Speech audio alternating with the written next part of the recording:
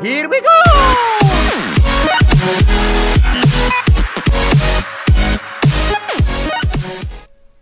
What is going on guys, it's your boy Gaming Nacho here today. We have got some zombies gameplay for you and this is a easy high round tutorial. Now anyone can do this, it's super easy to do, it's like so easy, rounds go ever so quickly compared to normal and you can get tons of kills really easy with any weapon. Uh, so what you need is the Thunderbow first of all because this is the main weapon. As you can see in the video right now, I'm basically in the spawn room where you buy Quick Revive and all you have to do is shoot your thunder bow every time it sort of, like runs out when the zombies get close. Also to suggest you have the zombie shield for this. As you can see I turn around in the video quite a lot. That's just in case a zombie wants to try and bat me a little bit. And I'm going to skip some rounds here. So uh, yeah, um, you're just in the quick revive room with the zombie shield and the thunder bow, and you just basically shoot that thunder bow at the start of a round, wait for the zombies to get close, shoot again. But the only problem is the panzers, they can get trapped in the room, and I've tried using gravity spikes, putting it down as a trap, but it sort of glitches them out and it pushes them under the map, and it does end up actually getting me killed. Not in this video, but in another video it did. And um, so I suggest that you run to the courtyard in front of the castle when a panzer comes in. You just take it out there and then come back. So basically, once if you don't know how to make the thunder bow, there's going to be a tutorial at the end of this, and um, or you can look in the description. I'll have a more detailed tutorial you see, I'm skipping around right now, and I'm just basically sitting in that room. Uh, you can also use the last gobble gum. I can't remember how you say it, but it gives you a bullet for every 10 points earned. Now look, look at my points, they're going mental. If you have this, it's literally unlimited ammo for a round, and you can get max ammo. You're right near the gondola, you're near everything. It's really easy to get. Uh, I hope you subscribe and like. The tutorial will be right now. So right now I'm going to do a quick tutorial, it's not going to be in depth, but this is how to make the thunder bow really quickly. So first of all what you need to do is get the actual bow and come over and shoot this thing. It won't be on flames and that, but it's already like that.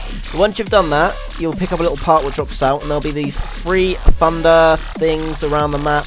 You can see two of them there, and that last one down there what you can't see is in the rocket yard. You can't actually go to the rocket yard in theatre mode, but it, you see it, you walk in and it's on your right. Once you've done that, and you've little them, your challenge quest thing will move up just a tiny bit, and you'll want to work your way down into the uh, the anti-gravity moon room thing. And all you have to do is wait till there's anti-gravity, and you'll see these wind symbols on the wall. They'll be flashing, and all you have to do is run around. I suggest going this way around, where I do in the uh, in the theatre mode, because you can just run around in one go, and it's easy for anyone. As when you're not the host, it's sort of laggy in this room. You can just do one wall run all the way around, hitting all of these without falling off. If you fall off, you have to restart, and it's really easy to do. And then once you've done that, all you have to do is head up to these three separate locations. Uh, I tried to go up here, but you can't, so I have to go back down. There is one in the clock tower. Now, uh, it's down below. You see it really easy. Uh, but I think I actually go to the one near double tap first. But just above double tap there is one, and it's a little electric box thing you're going to see in the video. I go there, and then I go to the double tap one. It's just up here. Yep, right here.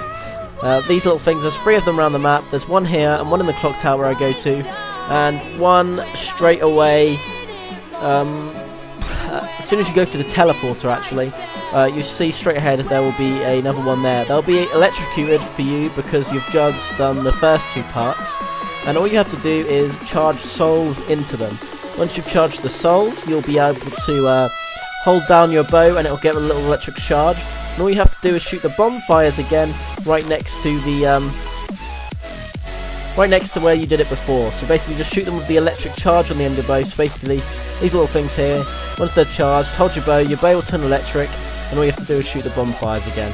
Then what you want to do is just head your way down, back into the gravity room, and put your bow back in, or, or the arrow, there'll be an arrow drop out of that thing there, sorry. And all you want to do is take that arrow, take it down into here, put it in the box, charge souls, hold square on it again, take it out and you'll have your bow. There'll be a more detailed description below. This has been your boy, Gaming Nacho. Till next time, peace.